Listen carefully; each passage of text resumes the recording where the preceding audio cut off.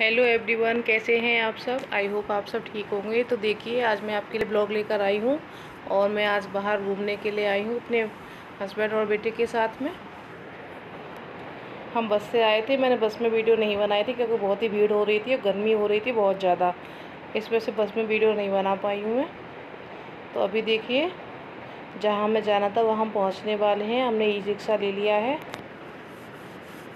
बस five minute में हम पहुँच जाएँगे। तो आप देख सकते हैं, बहुत ही खूबसूरत जगह है ये, जहाँ पर हम आए हैं। आज ना बहुत ज़्यादा गर्मी हो रही थी, बहुत ही ज़्यादा गर्मी। और बस में तो बहुत, वैसे भी लगती है गर्मी, भीड़ भाड़ भी होती है बस वगैरह में। और यहाँ पे आके ना बड़ा सुकून मिल रहा है, बहुत ठंडा है यहाँ पे, क्योंकि बहुत सारे पेड़ पौधे हैं। आप देख सकते हैं कितनी अच्छी ग्रीनरी हो रही है यहाँ पर। इतने सारे पेड़ पौधे।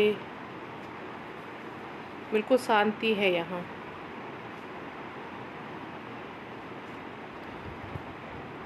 और बताइए फ्रेंड्स आप सब लोग कैसे हो?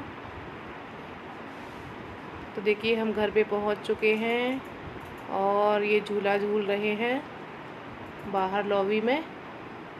आप देख सकते हैं कितने सारे गमले लगे हुए हैं, पेड़ पौधे हैं। तो आप देख सकते हैं कितने सारे पेड़ पौधे हैं, यहाँ पे गमलों में फ्लावर्स लगे हुए हैं।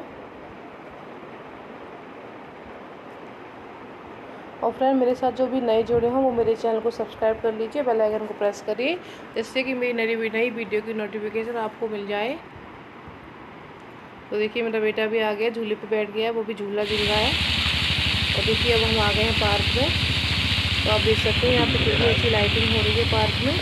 और यहाँ पे जो फब्बारा लगा हुआ है, वहाँ पे हर कलर में हो जाता है। मतलब कभी ब्लू कभी ग्रीन कभी रेड तो आप देखिए कितनी अच्छी लग रही है। और ये बहुत ही खूबसूरत जगह है। तो अभी हम कुछ दिनों के लिए यहीं पर हैं।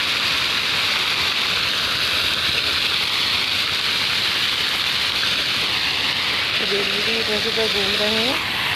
और कान्हा को तो बहुत ही अच्छा लग रहा था यहाँ पर आके। बहुत खुश हो गया था वो तो। तो भी मिलते हैं आपको अपने अगले ब्लॉग में। तब तक के लिए टेक केयर बाय